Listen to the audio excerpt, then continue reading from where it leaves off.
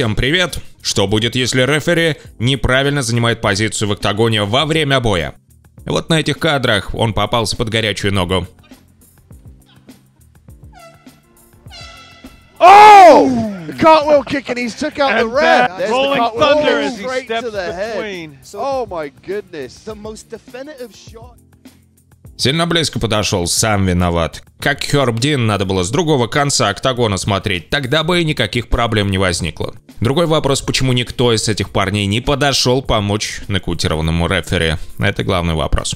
Внимание, друзья, завтра будет топовый суперматч. Серия А. Милан против Ювентуса. Залетай по ссылке в закрепленном комментарии. Укажи при регистрации промокод ААММА. Ставь на свою команду и получи бонусами до 25 тысяч рублей на первый депозит. Успей до начала матча.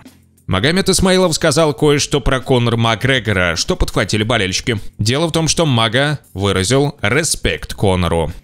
Макгрегор – человек не идеальный, как и все мы. Но когда он появился, мы стали гораздо больше зарабатывать. Для ММА он делал очень много. Он легенда. После этого на Исмаилова обрушилась волна одобрения и согласия со стороны болельщиков. Вот в этих комментариях вся суть. Отметим, что Мага немного похож поведением с Макгрегором, он также старается раскручивать свои бои изо всех сил. На этом видео Магомед Исмаилов и Александр Ильич устроили потасовку в отеле перед поединком. Переобулся Мага? Нет. Хабиб сам говорил, что Конор сделал большой вклад в ММА, благодаря ему все стали больше зарабатывать. Хабиб также отреагировал на новость о том, что его бой с Макгрегором вчера отметил юбилей 4 года. 4 года историческому ивенту поменял выражение его лица «Тап-машина». Подписал это фото Хабиб. Александр Емельяненко удивил всех. АЕ может провести боксерский бой против Николая Валуева. Их бой может состояться под эгидой промоушена «Наше дело». Многие удивились такому ходу событий.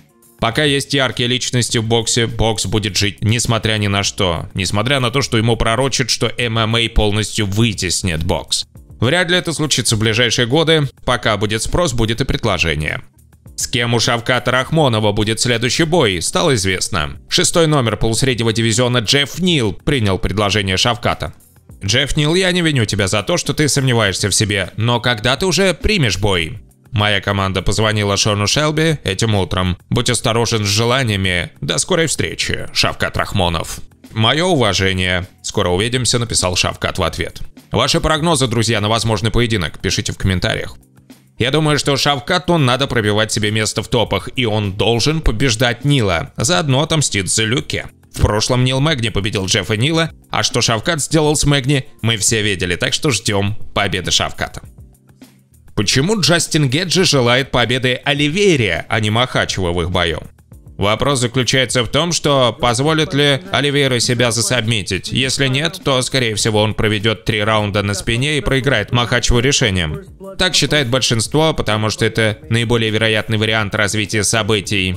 Но если мы вспомним недавний бой Камару, то поймем, что это лучший спорт в мире, в котором может случиться все что угодно. Я с нетерпением жду этот бой. Надеюсь, Оливейра сможет остаться в стойке и побьет Махачева. Было бы круто увидеть такое. Посмотрим, что будет.